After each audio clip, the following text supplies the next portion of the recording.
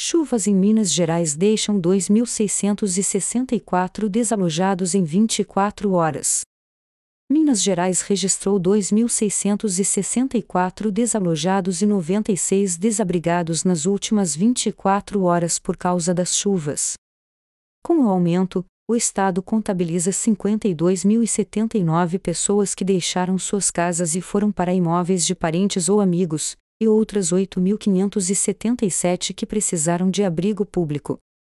Os dados foram divulgados, neste sábado, 12, pela Defesa Civil e são referentes ao período chuvoso, que começou em outubro do ano passado.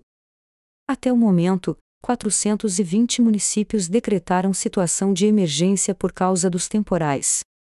Ainda segundo a corporação, 25 pessoas morreram em decorrência dos temporais e os óbitos foram registrados nas seguintes cidades: Uberaba, Coronel Fabriciano, Nova Serrana, Engenheiros Caldas, Pescados, Montes Claros, Betim, Belo Horizonte, Dores de Goiás, São Gonçalo do Rio Abaixo, Ervalha, Caratinga, Ouro Preto, Perdigão, Santana do Riacho, Contagem e Claro dos Poções, as dez vítimas da tragédia de Capitólio não serão contabilizadas até o fim das investigações.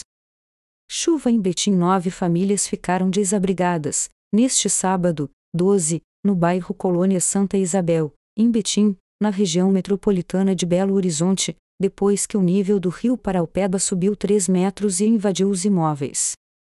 O ponto mais atingido foi a Rua da Pedreira, local onde as famílias moram, eles foram notificados pela Defesa Civil sobre o risco de inundação, pois a Prefeitura de Betim monitora a região desde o dia 10. As pessoas desabrigadas foram levadas para casa de parentes e receberam cestas básicas, até que sejam incluídas no benefício de auxílio habitacional da administração municipal. Essa não é a primeira vez que os moradores sofrem com os efeitos da chuva neste ano.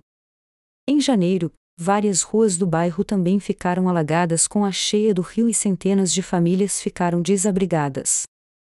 Na época, os moradores sofreram com a lama grossa que ficou nas casas depois que as águas abaixaram. Asterisco estagiário sob supervisão de Ana Gomes.